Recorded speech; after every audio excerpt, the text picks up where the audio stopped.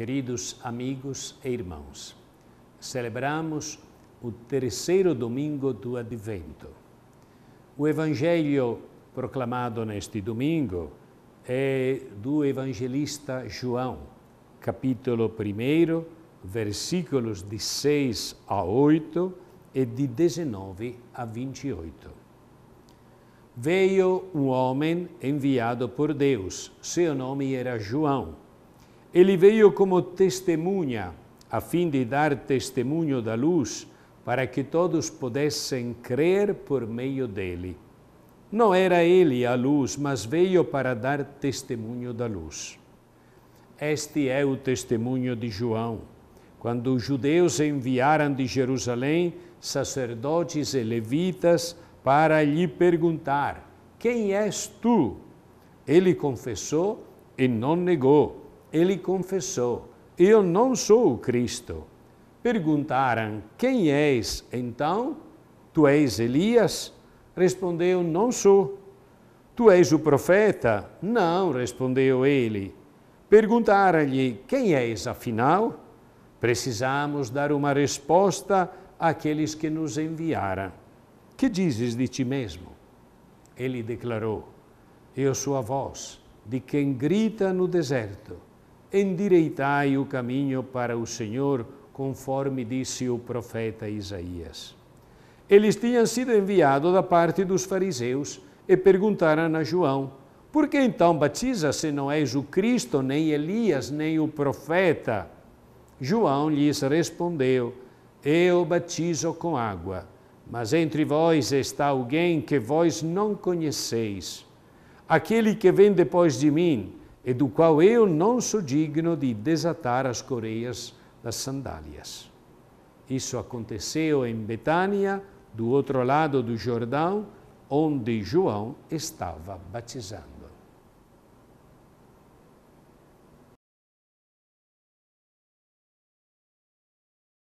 Neste terceiro domingo do Advento, a Igreja antecipa um pouco a alegria do Natal. E por este motivo é chamado o Domingo da Alegria.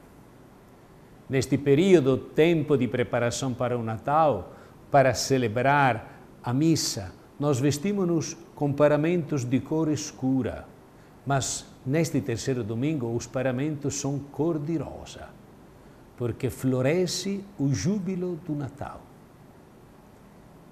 É a alegria do Natal, é um júbilo especial. E trata-se de uma alegria que não é unicamente para o dia de Natal, mas para a vida inteira do cristão. Trata-se de um júbilo sereno, tranquilo, de uma alegria que acompanha sempre o cristão inclusive nos momentos difíceis, nas horas de dificuldade, esta alegria torna-se paz. Quando é autêntico, o cristão nunca perde a sua paz, nem sequer no meio dos sofrimentos. Aquela paz constitui um dom do Senhor. A alegria cristã é uma dádiva do Senhor. Ah, alguém diz, nós faremos um banquete e todos estaremos contentes. Isto é bonito. Um bom almoço faz bem. Mas esta não é a alegria cristã da qual falamos hoje. O júbilo cristão é diferente. Ele leva-nos também a fazer festa, sim, é verdade, mas trata-se de algo diferente. É por este motivo que a Igreja nos quer levar a compreender no que consiste esta alegria cristã.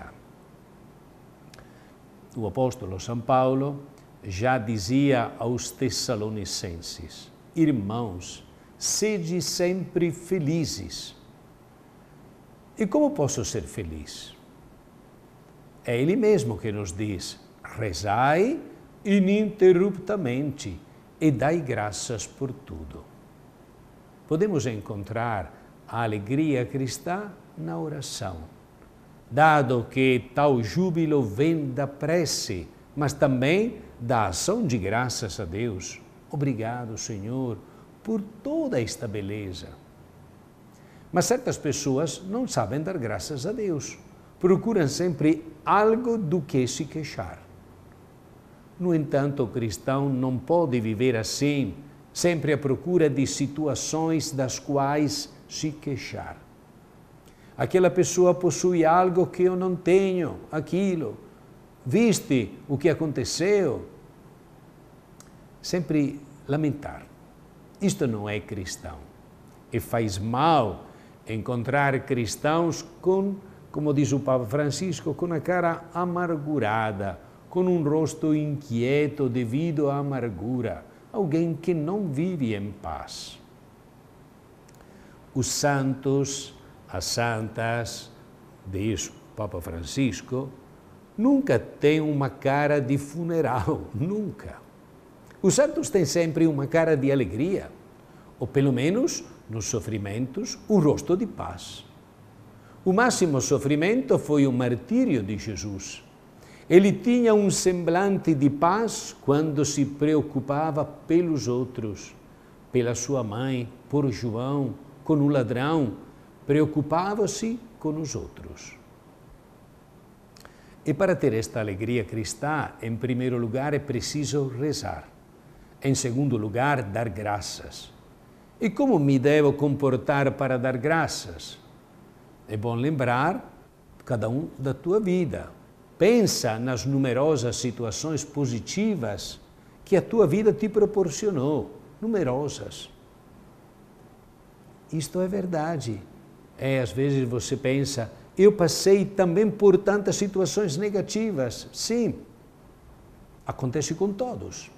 Mas procura pensar também nas coisas boas. Eu tive uma família cristã, pais cristãos. Graças a Deus tenho um trabalho, a minha família não passa fome, todos nós gozamos de uma boa saúde. Não sei. Há muitas situações pelas quais dar graças ao Senhor. Há muitas, é só parar para pensar. É precisamente isto que nos habitua à alegria. A oração e saber dar graças a Deus. Além disso, a primeira leitura sugere-nos mais uma dimensão que nos ajudará a ser alegres. Transmitir a boa notícia também aos outros. Nós somos cristãos Cristãos vêm de Cristo e Cristo significa ungido. Por isso, nós somos ungidos. O Espírito do Senhor está sobre mim, porque o Senhor me consagrou com a unção. Nós estamos ungidos, isto é, cristãos ungidos. E por que nós somos ungidos? Para realizar algo. Ele enviou-me para transmitir a alegre notícia. Mas a quem? Aos pobres, aos últimos, aos miseráveis. Curar as chagas dos corações feridos, proclamar a libertação nos cativos, a libertação nos prisioneiros, promulgar o ano da graça do Senhor. Esta é a vocação de Cristo e também a vocação dos cristãos. Ir ao encontro do próximo, daqueles que vivem em necessidade tanto material como espiritual. Há muitas pessoas que sofrem angustiadas devido a problemáticas familiares.